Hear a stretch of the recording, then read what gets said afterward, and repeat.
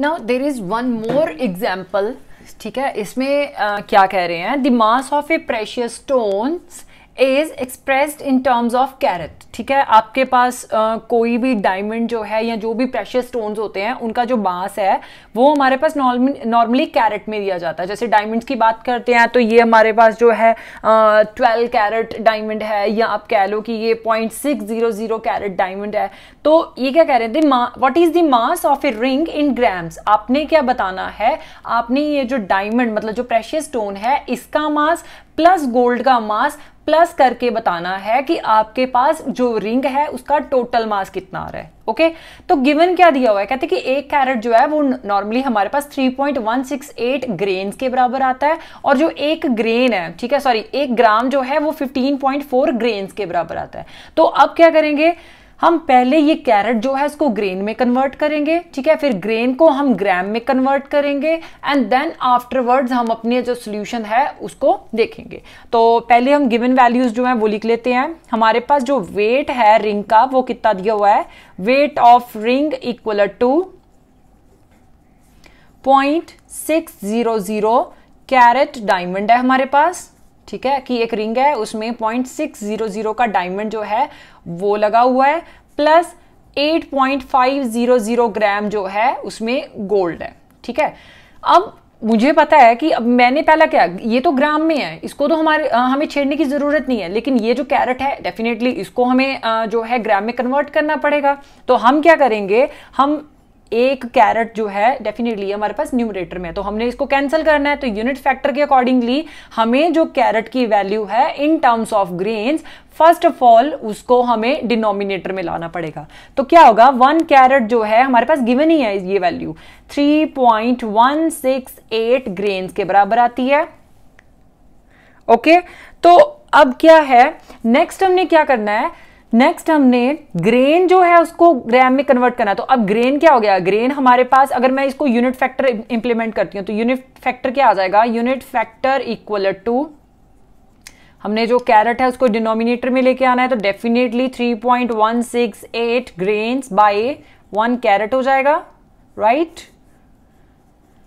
अब नेक्स्ट क्या है हमारे पास? हमने ये जो ग्रेन है, ये न्यूमरेटर में है। तो डेफिनेटली जब हम कन्वर्जन करेंगे ग्रेन की ग्राम में तो इसको हमें डिनोमिनेटर में मतलब जो नेक्स्ट वैल्यू है, उसको डिनोमिनेटर में लाना पड़ेगा। तो हम नेक्स्ट वैल्यू भी देख लेते हैं। वन ग्राम किसके इक्विलेंट आ रहा है? One gram equal to fifteen point four grains के बराबर है। ठीक है? अब डेफिनेटली हमें यूनिट फैक्टर लगा रहे हैं तो ग्रेन को जो है, हमें डिनोमिनेटर में लाना पड़ेगा। अगर हमने इसको कैंसिल करना है तो क्या हो जाएगा? One gram by fifteen point four grains आ जाएगा राइट अब ये हमारी फ़र्स्ट वैल्यू है, ये हमारी सेकेंड वैल्यू है। तो नेक्स्ट क्या है? हमारे पास वेट ऑफ़ डायमंड दिया हुआ है। So weight of diamond equal to कितना दिया है? That is point six zero zero carat. अब आपने ये कैरेट को ग्राम में कन्वर्ट करना है तो क्या कहेंगे? Point six zero zero carat is equivalent to कितने ग्राम के बराबर है? Point six zero zero carat into three point one six eight grains right हमने यहाँ पे जो फ़र्स्ट वैल्यू निकाली हुई है, उसको हम इसमें मल्टीप्लाई कर देंगे बाय वन कैरेट इंटू अब यहाँ पे हमारे पास ग्रेन जो है, हमने जैसे बात की थी कि अगर न्यूमरेटर में है तो हमने ये कैंसिल करना है ग्रेन को, क्योंकि हमें आंसर जो है किसमें चाहिए? ग्राम्स में चाहिए। तो ये वैल्यू हम सेकंड भी मल्टीप्लाई कर देंगे। One gram into fifteen point four grains right अब ग्रेन के साथ ग्रेन आपने कैंसिल कर दिया है कैरेट के साथ अपने कैरेट कैंसिल कर दिया है तो अब क्या आंसर आ रहा है?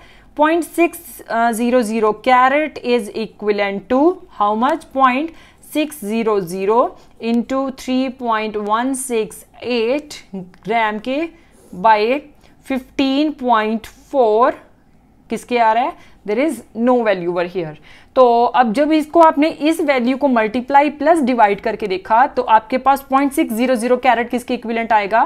Point one two three gram के इक्विलेंट आएगा। ठीक है? कि हमारे पास अगर point six zero zero carat diamond present है तो उसका अगर मैं वेट निकालना चाहती हूँ इन टर्म्स ऑफ़ ग्राम तो वो point sorry point one two three gram के इक्विलेंट आएगा राइट right? अब हमारा नेक्स्ट टारगेट क्या है हमें पता है, हमारे पास गोल्ड का मास जो दे, वो दिया हुआ है ग्राम्स में so total mass of ring क्या हो जाएगा total mass of ring must be हमारे पास point six zero zero carat diamond it means point one two three gram of diamond add हो जाएगा plus eight point five zero zero gram gold 8.500 gram gold जो है, वो add हो जाएगा। तो जब आपने टोटल मास देखा तो ये दोनों ऐड करने के बाद कितने आ रहे हैं? थ्री ठीक है? टू आ गया सिक्स आ गया पॉइंट एट मतलब जो हमारे पास टोटल मास ऑफ़ रिंग आ रहा है, वो कितना आ रहा है? Eight point six two three gram okay